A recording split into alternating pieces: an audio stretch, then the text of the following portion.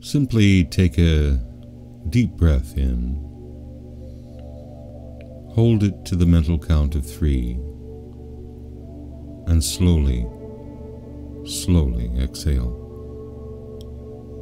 This is where it all begins slowing down the mind. Why do we slow down the mind? Because the mind is caught in a trap, and that trap is the very top of your mind, your brain. What happens is, is that we get caught up in all the fears and things that go on in our thinking process, predicting the future, thinking about the past. This all takes place in that part of the mind up at the top. But when we take a deep breath in, hold it to the mental count of three, and slowly exhale, we naturally trigger a response within our body that's hardwired just before you go to sleep. You take a deep breath in, hold it to the mental count of three, and slowly, slowly exhale. You put the mind into neutral. You give it an opportunity to sink into the midbrain, the middle of your mind, where when you take a split the brain apart, you'll see the eye of Horus there. There's a reason that that symbol is around. It's for you to remember where to go. All the programming takes place in the top part of your mind. All the programming takes place up there in that overgrowth. The thing of it is, is that 90% of what you're worrying about doesn't even happen. But it puts you into an emotional state of mind. All that thinking adds up to a vibration that then becomes your reality vibrationally. When you want to change your life, you need to become a little serious about what you do in your own mind. You want to take control of your thinking and simply allow yourself to drift into the midbrain by taking a deep breath in holding it to the mental count of three, and slowly exhaling. We have become so accustomed to the hyperness of life that slowing down seems boring, or people simply have internal reactions to slowing down their mind. The truth is, we don't need all that hyperactivity. The truth is, is that all that hyperactivity is mismanifesting your life. Slow down. Let go. If you let go of 90% of the worries that you have, you'll find that you have peace. Simply by letting go. And peace creates peace. That's the beginning. Then the next step is to create joy from this peace. Remember, what you think about all day long becomes a vibration in your body that then manifests a reality that most of you don't want but it is you and solely you that's creating your reality. Stop. Take a deep breath in. And slowly exhale. Allow your awareness and your attention to drop into the midbrain behind your eyes. And at first, you're just going to become accustomed to what it feels like to slow your brain down. That hyperactivity in the brain creates all sorts of things within your body. Did you know that if you're in that state for too long, you actually trigger the fight or flight response? So, just as if you were in a fight with somebody, you're actually fighting inside your body, creating all the chemicals that you need to run. In fact, all the little capillaries start to close off, forcing the blood out into the limbs so that you can run.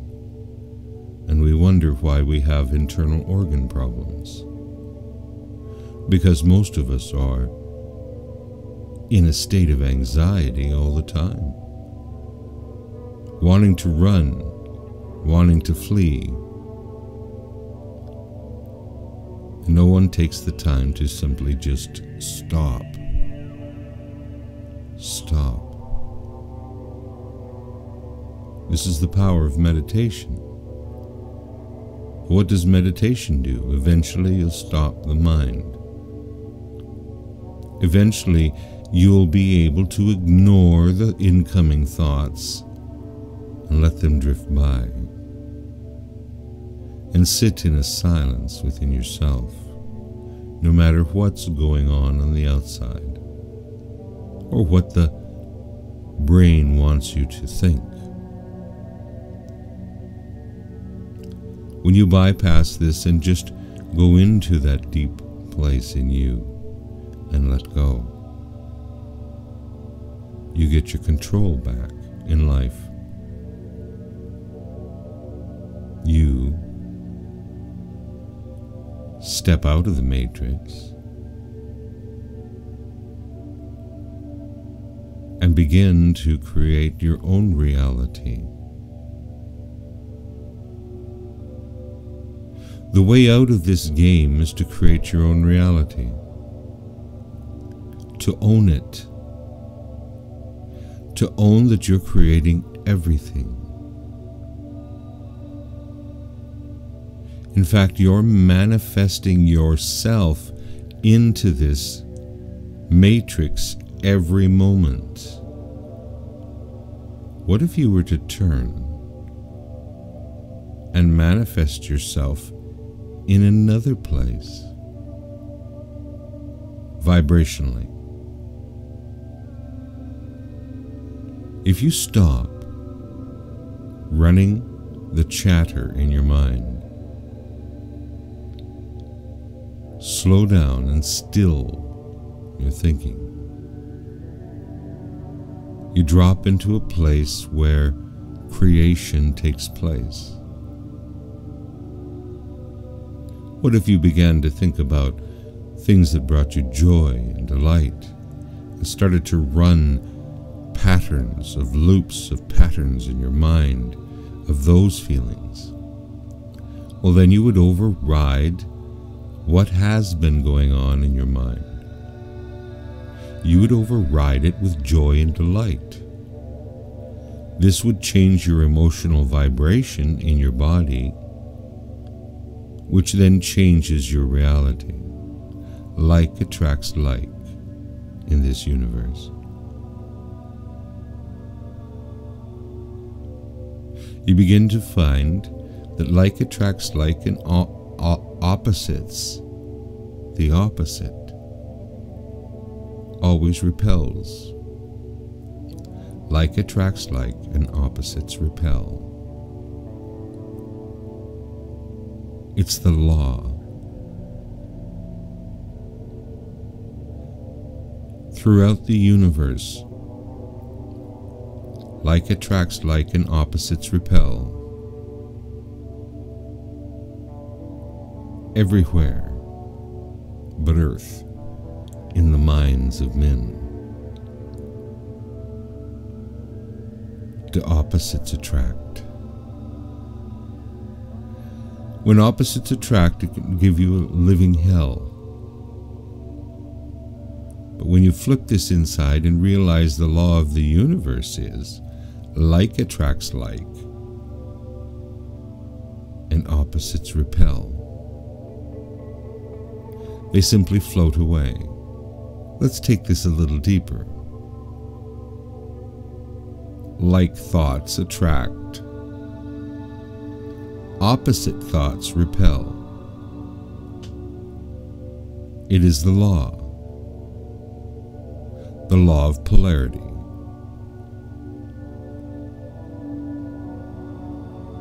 But when you have a mind where the top part of the mind worries about all kinds of things, the worry manifests the thing. Always. This is where we see 90% of the world's problems is right there. By their worry, the brain runs in reverse and you end up manifesting what you don't want.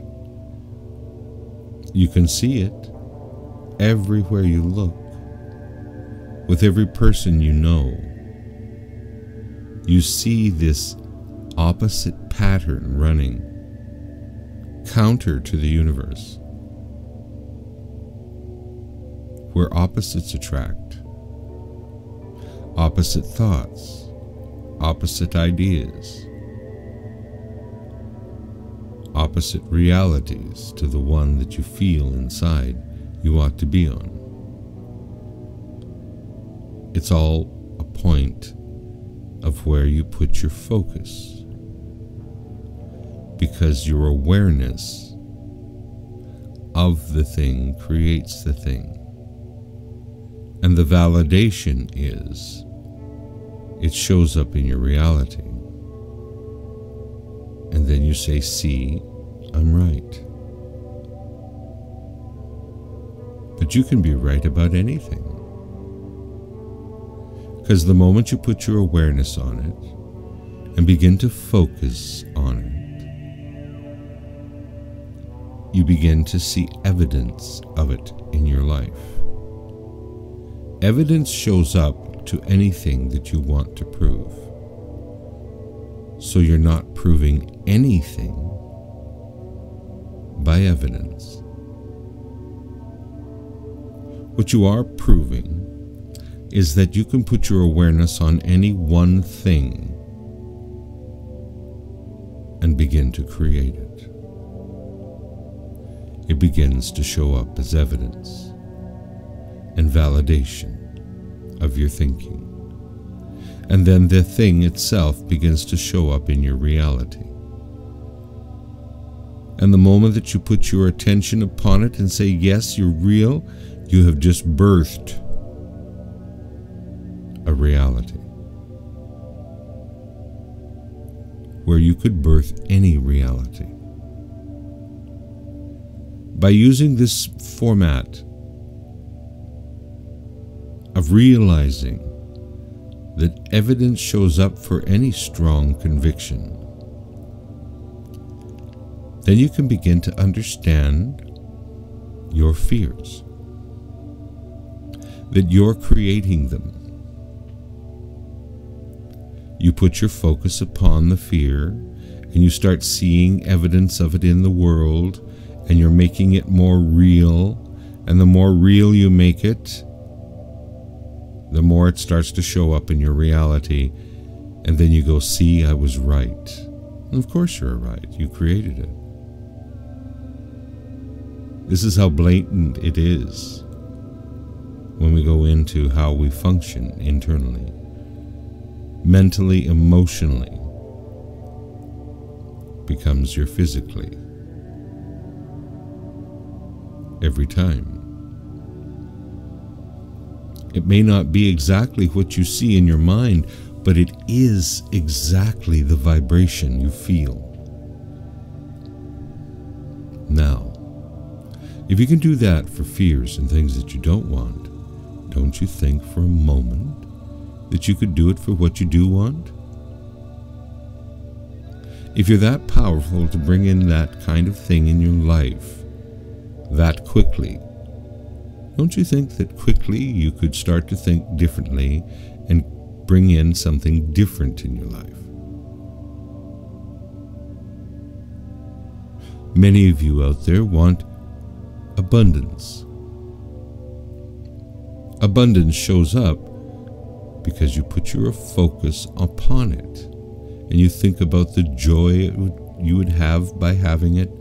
You begin to feel those feelings inside of you that you're the luckiest person in the world, and money just shows up and plops on your lap effortlessly. You start playing with those thoughts and ideas and feelings inside of you, and the next thing you know, evidence starts showing up to prove your point. There's other people that are doing that. Uh, I just had confirmation. I found money on the ground. Money can show up out of nowhere. And the next thing you know, the more you feel this, the more you touch upon the evidence that shows up, and the more you believe it, the more it starts to flow in your life and show up in your pocket. Because you took the time to stop, drop, and shift your thinking.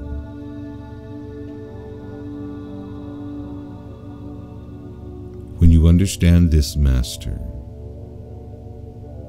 you will understand the key to you and Source Energy being one.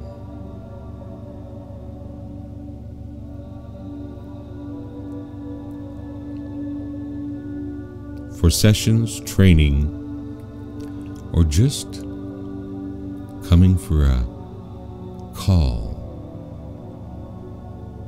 you can find me at www.dwainehartman.com. See you there.